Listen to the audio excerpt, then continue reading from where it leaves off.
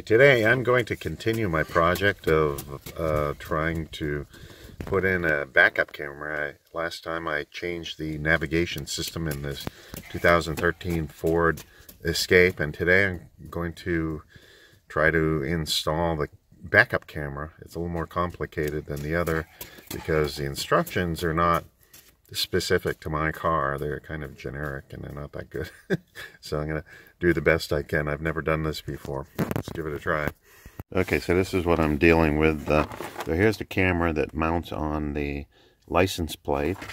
And uh, uh, you can see from the black and red lines it needs power. This is the tricky part. I've got to hook this into uh, the fuse box. There just happens to be a fuse box right here in the back with a lot of empty spaces here so I can plug in uh, pretty easily. There was this thing I was able to find at the auto parts store. It's a special little plug that allows me to plug right into here, but I don't know if it goes up or down. And uh, I'll have to try. Uh, I've got my my handy dandy little voltmeter here. We'll put that on it to um, see if we can figure out what's positive, what's negative. And then, uh, yeah, so I've got basically just a general wiring diagram. So I'm going to have to take apart the whole back door here and uh, it'll mount right on the license plate there and then fish the wires through this and it's to come up and go through one of these cables up here to get into the interior and take the interior apart run a cable over to there. Then we get this really long cable that uh, will run all the way up to the front of the car. Yeah and and that'll plug in. So apparently this wire here 90% of the cars they say this is not necessary so I hope it's not necessary here um, that that thing tells the camera to turn on. Uh, but since this is a newer car I, I doubt we'll need that. So let's give it a try. All right so it looks like the first thing I've got to do is take this this handle off uh, the back door. Popped off easy now there's a few screws in there. Okay handle's off now so that should allow me to pull this whole back part off the door here. Okay, so I get the back of a door off all I had to do was just unplug this uh, little thing that goes to the back door switch to close the door. And now I can get at all the wiring and, and whatnot here and uh, fish this wire through. And I have a little helper now too. Yep. The camera is going to mount it here on the back license plate so that means I got to take off this plastic thing here so I can fish the wire through this isn't going very well. I removed the screws on the inside and there's special latches in there and uh, this thing should just pop right off but I'm using my little trim removers here uh, to try and keep from damaging the trim and it's just just doesn't want to come off and gosh I don't want to manhandle this so I'll break it in half. Okay I figured out the problem. I was I was trying to take out screws. Of something down here. It's very easy to get disoriented when the uh, door's upside down. So there's actually four screws. This should just pop right off right now. There we go.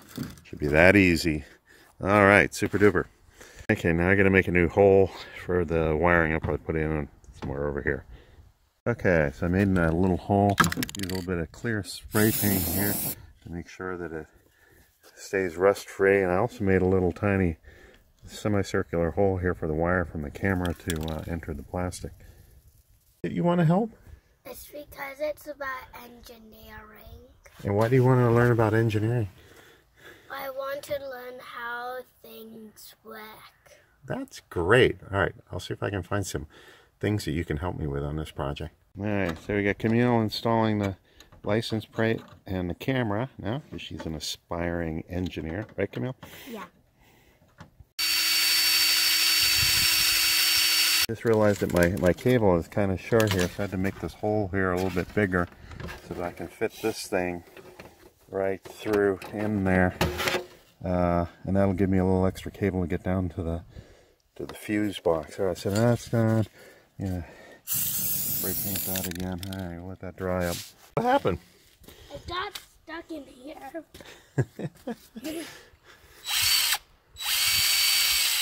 Okay, so I fished the wire through, and uh, because the wires will rub against the sheet metal, that'll eventually cause them to short out. I covered the whole thing in a, a big glob of uh, silicone glue, uh, so that should protect it. You can see the wire, the camera wire comes over here, I started using these zip ties to uh, attach that to the current cable and I've got it all the way over here. Now I've got the next tough problem. I don't know how I'm going to do this. Uh, I've got to fish that through this this flexible thing here that connects the door to the uh, the cables in the door to the rest of the car. I don't know how that's going to happen. This may not be as bad as I thought. I just flip, pop the, the top and the bottom of these and you see the cable going through. I might be able to fish it through pretty easily.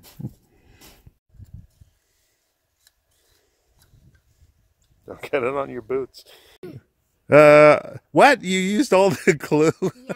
Oh, oh no. Okay, well, good thing I got like tons and tons of that glue. Hey, look at that. I was just thrilled and amazed how easy that was to fish through there. I thought that was going to be a huge problem. All right, so now I got to take out this stuff up here and fish it back down, get it down to the, uh, to the fuse box things are going really well so far. But before going any further, I want to try and figure out how to uh, wire this thing into the fuse box. Uh, I don't want to get ahead of myself here. Why is this wiggly? it's so wiggly it fell off. This little device will get me power from the uh, from the fuse box. It'll get me from positive, the red, but now I need negative, which is the grounding to the frame of the car. So I put a screw into the car and ran a ran a wire back down to here, and I'll, I'll hook that up to the. That'll be the negative to the camera. So we lost our good weather. Camille's filming here. I'm gonna try to check the voltage here. All right. So can you see the number on there, Camille? Yep. So I'm gonna check this thing in the fuse box and uh, we'll touch to my ground wire here. And we got we're getting like 14.6 just a 14.7 volts. Uh, and so I know which one to hook it up to now. Okay, slight change of plan. I was going to use this little connector here to go into the fuse box but it just doesn't fit. Uh, so I'm going to use a different type of fuse and uh, uh, it's kind of an inline fuse and I'm going to use this little connector here that'll get me inside the fuse box to connect all the wires up. Oh, Camille's going to love this. We're going to put a butt splice in here. so I think I might wait till tomorrow so I can have Camille do the butt splices. All right, so I was able to tap into the um, fuse box with this little plug here. And this is my inline fuse and hooked it up to my wires. So all I have to do now is just tuck this back in here. And uh, and we are good to go. There, there we go. And we're all business. And there we are. Alright, so I uh, also ran that wire, uh, the video cable, up through here, along there, and there's this really soft rubber thing, so it took only just a few minutes to get it all the way up to the front. And you can see it sticking out up there, close to the front, where the wire comes out under the dash there. And uh, I just went up and plugged it into um, where it's supposed to be here in the console to test it, and it works fine. So now I'm going to try and fish it through a hole here in the uh, in the dash with a special tool.